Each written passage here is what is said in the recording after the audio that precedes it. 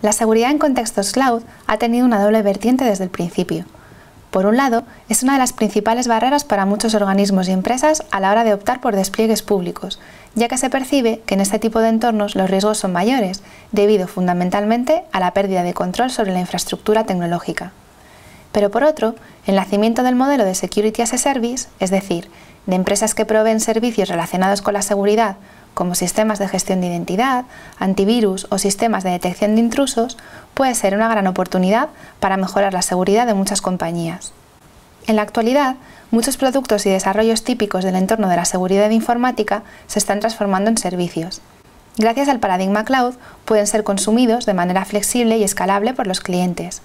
Así, estos tienen la posibilidad de acceder a soluciones que no estaban disponibles para ellos con el modelo tradicional, sobre todo en el caso de las pequeñas y medianas empresas.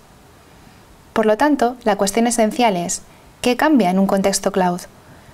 Intentando responder a esta pregunta, diremos que clientes, administraciones públicas y gobiernos, proveedores y distintos organismos de estandarización y certificación han identificado importantes diferencias del contexto cloud frente al modelo tradicional.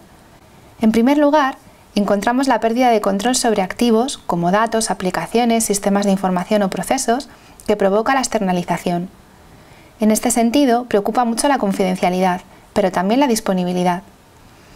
También está la posible cautividad de los proveedores escogidos, la ausencia de estándares específicos para cloud, la ausencia de metodologías de auditoría y de certificaciones para este tipo de entornos y las vulnerabilidades específicas que se asocian al paradigma. Estas se relacionan con tres aspectos fundamentales. La necesidad de conectarse con los servicios contratados utilizando Internet, el acceso a estos servicios a través de una interfaz web y la necesidad de establecer una relación de confianza con un agente externo tanto del cliente hacia el proveedor como del proveedor hacia el cliente. Hay que tener en cuenta que los dos podrían abusar de esta confianza. Normalmente los proveedores cloud destacan como sus puntos fuertes en lo que se refiere a muchos factores como la seguridad, la especialización de su personal, la incorporación inmediata de las últimas tecnologías y contramedidas existentes, la disponibilidad de gran cantidad de recursos, el cumplimiento de diferentes normativas y certificaciones, la automatización de muchos de los procedimientos de seguridad y de otros aspectos igualmente importantes que, en muchos casos, las empresas e instituciones que contratan a estos proveedores no pueden cumplir con soluciones tradicionales o in-house. Sin embargo, a estas empresas o organizaciones les preocupa la complejidad de la gestión de los grandes centros de datos de los proveedores, esencialmente cuando existe un modelo de multitenancy que hace que sus datos, procesos, aplicaciones y sistemas convivan con los de otros usuarios sobre las mismas máquinas físicas. Como decíamos antes, también les preocupan los riesgos que añade la utilización de Internet al paradigma, ya que no se pueden utilizar esquemas de seguridad basados en la protección del perímetro, como se hacía hasta ahora.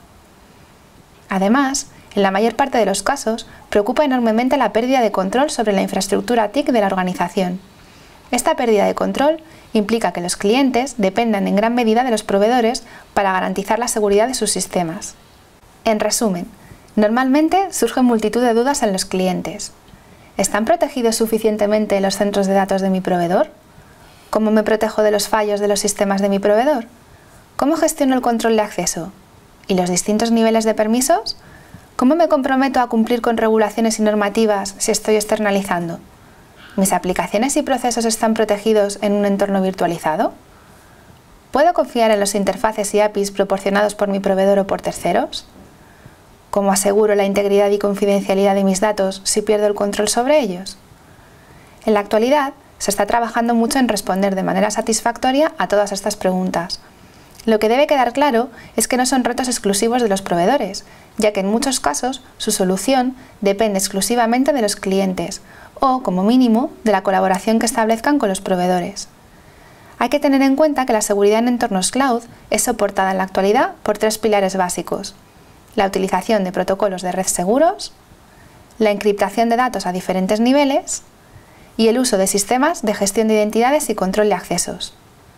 Y en cada uno de estos aspectos, las dos partes deben cumplir con su papel correctamente, desplegando las contramedidas adecuadas y desarrollando las políticas que regulen su correcta utilización.